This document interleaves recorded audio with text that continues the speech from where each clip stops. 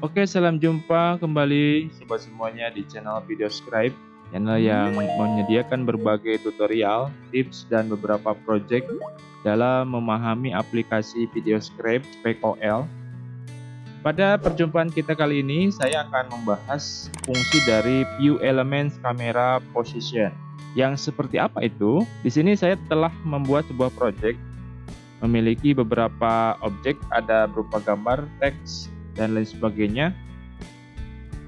Mungkin sobat semuanya pernah secara tidak sengaja dalam membuat sebuah alur cerita menggunakan SpecOL eh, terjum seperti ini ya. Dan mungkin bingung posisinya untuk melanjutkan di sebelah mana. Nah, di sini saya akan jelaskan. Pertama kan objek yang dibuat ini adalah objek gambar ini ya. Dilanjutkan dengan ini. Yang selanjutnya adalah objek yang tidak ada gambar ini adalah objek e, menghapus.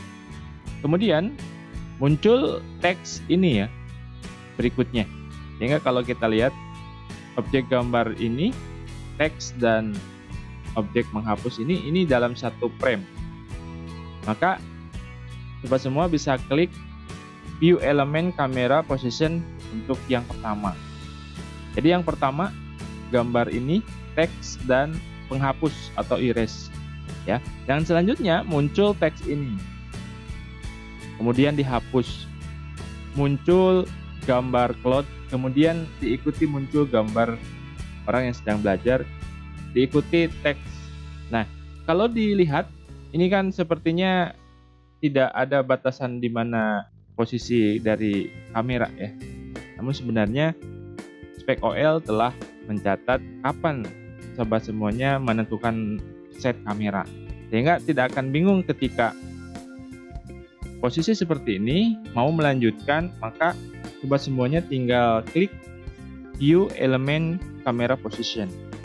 Nah coba kita klik objek yang selanjutnya. Apabila objek ini dalam set kamera yang sama maka otomatis dia tidak akan memiliki posisi yang lain kecuali mengikuti posisi yang sebelah sini atau objek yang pertama ya. Termasuk yang ini. Kalau saya ke sini maka dia akan berubah. Ya. Karena posisi yang pertama kita setting adalah tiga objek ini ya. Satu, dua, tiga. Satu posisi.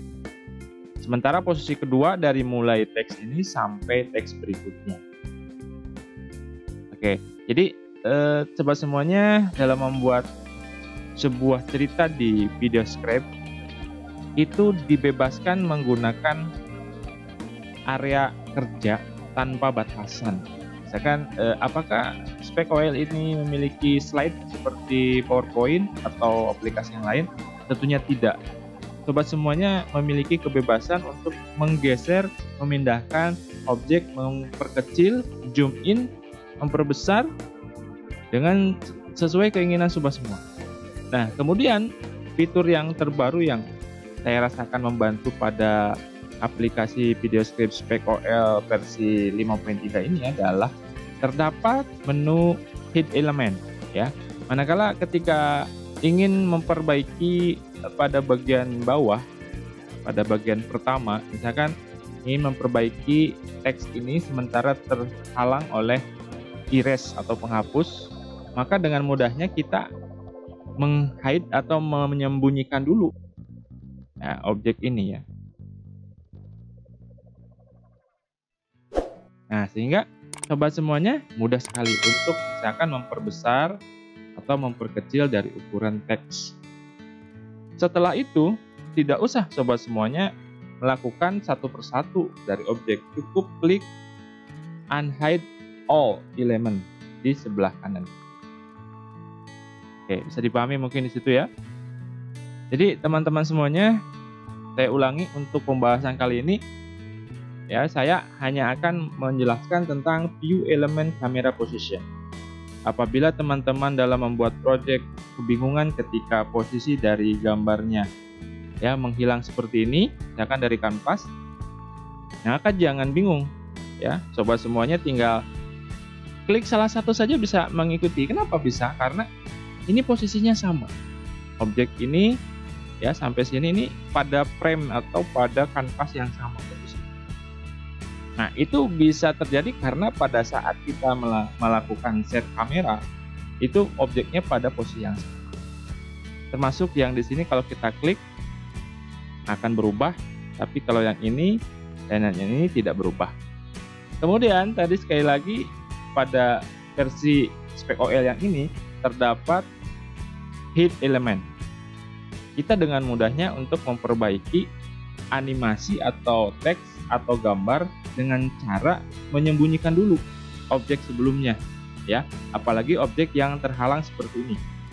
Bagaimana teman semuanya bisa memperbaiki ukuran atau font sementara terhalang? Maka dari itu ada tombol elemen yang disediakan oleh aplikasi. Kalau sudah tinggal di unhide all element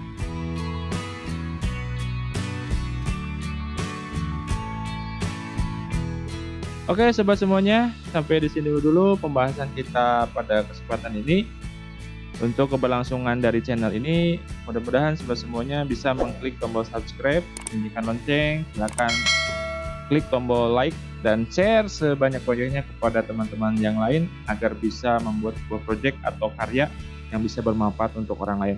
Oke, sampai jumpa pada pertemuan atau pada video berikutnya. Bye bye.